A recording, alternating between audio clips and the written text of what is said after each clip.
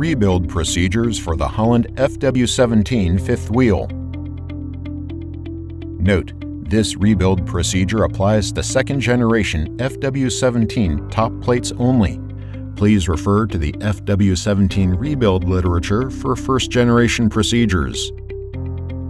Preparing and inspecting the top plate. Begin by removing the top plate from the mounting base. Remove the bracket pin retention bolts from both sides of the fifth wheel top plate and discard. Using a pry bar, pull the bracket pins out of the fifth wheel top plate and set aside. Using a lifting device capable of lifting 500 pounds, remove the top plate from the mounting base and place it on a flat, clean working area or rebuild stand. Note, follow the instructions published by the lifting device manufacturer for proper operation of the lifting device. Next, completely remove and discard all components.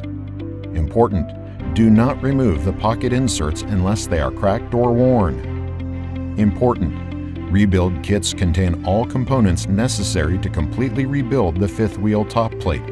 Do not reuse old parts. Note, Lock pin and adjustment pin could be difficult to dislodge and could require force to remove. Caution! Do not hit steel parts with a steel hammer as parts could break, sending steel fragments flying in any direction, creating a hazard which, if not avoided, could result in minor to moderate injury. Once all of the parts have been removed, thoroughly steam clean the top plate. Inspect the fifth wheel top plate for cracks and flatness. Fifth wheels with cracks must be replaced. If the lock pinhole, adjusting pinhole, or bracket pinholes are elongated, the top plate must be replaced.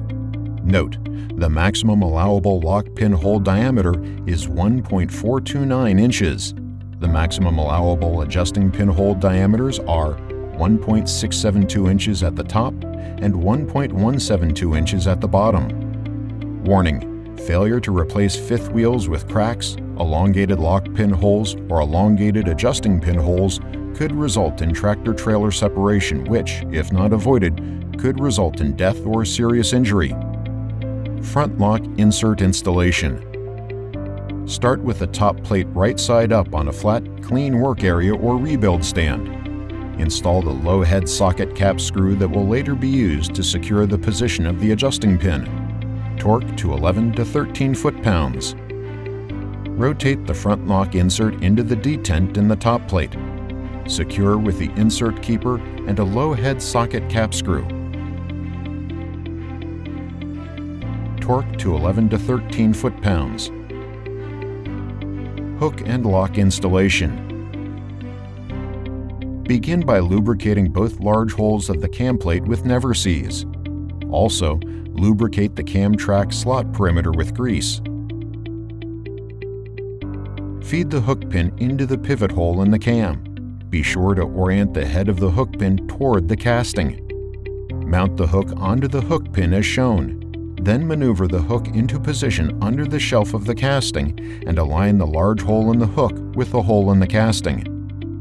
Next, position the lock so the holes line up with the hole in the casting Lubricate the adjusting pin, lock pin, and lock. Insert the adjusting pin from the top face of the fifth wheel so that it lines up with the first adjustment notch.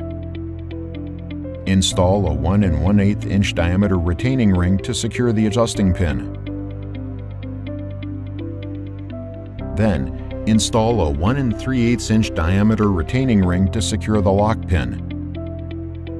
Lastly, secure the hook pin with a 3 4 inch diameter retaining ring as shown. Cam track roller installation. Maneuver the cam so that the cam track slot is over the tapped boss of the casting. Lubricate the shoulder only of the M12 by 1.75 mm shoulder bolt with Never-Seez. Place a 5 8 inch ID by 2 and 5 8 inch OD washer and the cam roller onto the shoulder bolt. Also, make sure the rounded edges of the washer are facing down toward the cam plate. Secure the assembly by installing the shoulder bolt through the cam track slot and into the tapped boss of the casting. Torque the bolt to 40 to 50 foot-pounds. Release handle installation. Begin by installing the S-bend through the end of the cam plate as shown, with the S-bend facing toward the top plate.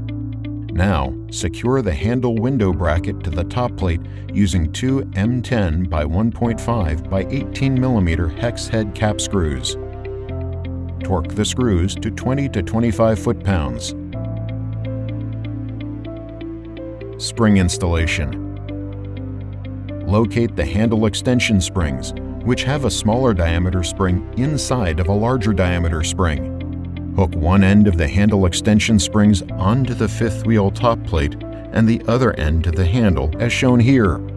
Next, connect one end of the cam extension spring into the last hole of the cam plate and the other end to the fifth wheel top plate.